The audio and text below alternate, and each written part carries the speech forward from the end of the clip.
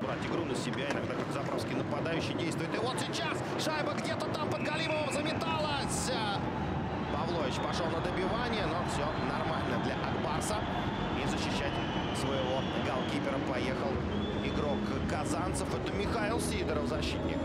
Ну и там э, еще бы я отметил действие Артема Волкова, 85-го номера Минского «Динамо». Броска защитника именно, именно он побежал за спину к Станиславу Галимову в надежде на то, что шайба... Сыграл защитник, заблокировал клюшку 74-го номера и не позволил переправить шайбу в ворота. А сейчас ошибка! И казанцы должны наказывать гол! 1-0! Артем Лукаянов! Да, какая грубая ошибка Минчан. Вот этот опять выброс через центр. Паузу и отдал, уложил защитника и над клюшкой отдал э, подкидку на своего партнера. И Артем Лукаянов открывает счет матча. Вот еще раз смотрим повтор этого момента. Действительно классная передача. И тут э, все-таки просочилась шайба э, под мышкой Бена Скривенса. И счет становится 1-0 в пользу казанского Акбара. Потому что обратите внимание, как плотно играют казанцы. То есть 5 Ой-ой-ой!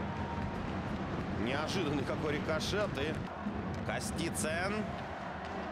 Что сделает Сергей? Смещается, делает передачу. Гол красиво! 1-1! Матерукин! Прекрасная комбинация получилась у минчан. И без шансов для Станислава Галимова. Отме... А, Прежде всего стоит отметить... Как классно все сделал Костицын. Смещается в центр, но вот эта диагональная передача и зацепил шайбу-то Галимов, но не успел переместиться. Действительно, и она влетает в сетку. Александр Матерухин красавец. Ну, интересно создать в атаке. Две минуты с небольшим играть. Вот там 3-2 сейчас мог быть выход, но уже вернулись минчане. Бросок. Скривец не удержал шайбу. Гол! А тут еще мало что забили, но хотят еще и крови казанцы. Вот это да, вот это драка, вот это бой, вот это матч. Да, но сейчас э, главный арбитр будет выписывать э, штраф. Я так... И на... уже по сути вратарь отыгран и пустые ворота. Наносит бросок э, игрок казанцев. Это, по-моему, Максим Лазарев был. Да, и после броска Михаила Глухова шайба там э, прокатилась немножко. Хотя нет, это вот э, Федор Малыхин, скорее всего, будет наказан двумя минутами за удар э, Александра Павловича. Ну и заодно вот Александр Павлович, капитан Минского «Динамо». И в результате чего вывели защитника на бросок. Но, опять же, пока все без опасности. Чибисов как здорово от борта ушел и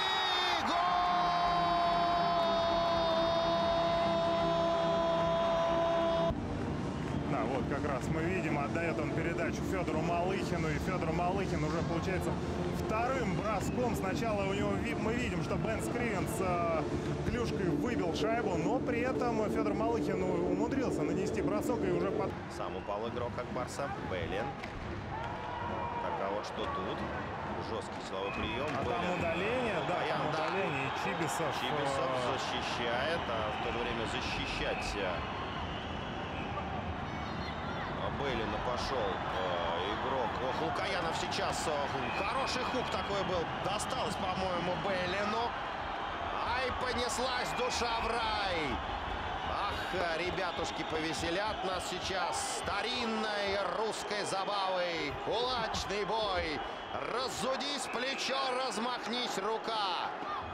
Ох! И Малыхину сегодня мало заброшенной шайбы. Чтобы погорячее было. Второй раз полез в самое пекло. Ну и Лукаянов говорит, иди сюда.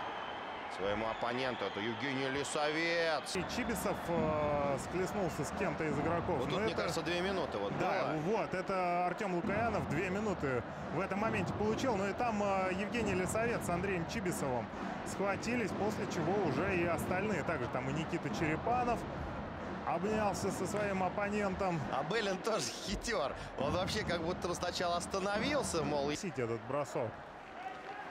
Граньяне. И красиво, как 3-2! Гагаврус. Станислава Галимова никто из защитников не успел закрыть Артура Гавруса. Все три человека оказались за спиной 91 номера. И первое очко за Минское «Динамо» в этом сезоне. Первая заброшенная шайба Артура Гавруса. И все-таки свою сильную сторону минчане опять показывают. Понимают, что если отдадут сейчас инициативу, тут и до 3-3 недалеко. Вставляет шайбу в чужой зоне. Ник Бейлен. И здорово как гол! Матерухин дубль! 3-3! Ай да характер минчане показывают! А моменты были у минчан. И вот э, Шарль Лингле доставляет шайбу на пятачок, откуда Александр Матерухин э, в ближний угол Станиславу Галимову отправляет третью шайбу для минчан в этом матче и сравнивает счет. Александр Матерухин. Вот очень сложно бывает действовать. Понятно. Ну, знаешь, с психологией у Акбарса все достаточно неплохо. Опять же, за чего стоит только матч против Санкт-Петербургского СКА, когда казанцы. Вот, посмотри, нет, нет, значит что-то не так. С психологией 4-3. 4-3 Минское Динамо. Это какая-то фантастика! зоны. Тут и Степан Захарчук тоже рядом был. Вдвоем они пошли на игрока Минского «Динамо», в результате чего Смотри, Матерухину интересно, запишет передачу или нет? должны записать Александру Матерухину, ведь это именно он послал шайбу Шарлю Лингле, который в свою очередь отдает передачу Мэтту Эллисону. И казанцы выигрывают эту очень важную шайбу. 50 секунд у них есть. И как тут шайба попадает в арбитра? И это уже все. Ну как же не повезло казаться в этом моменте, а? Потому что не очень удобно отдавал Илья Шенкевич. Мы видим, что шайба скакала с лету, поймал ее 12 номер. Ну и там уже а, труда ему не составило забросить пятую шайбу Минского «Динамо» в этом матче. Сверхволевая победа. Это третья победа подряд и вторая из этих трех волевая. И э, это вторая сейчас выездной серии, а, которая четырехматчевая у э, Минского «Динамо». И э, будем э, дальше смотреть, как команда Крейга Вудкрафта будет играть а, на выезде. И поздравляем э, минских «Динамовцев». Действительно, ну, посмотри, третий период 4-0 выигрывают минчане. Ну, когда такое было, что так период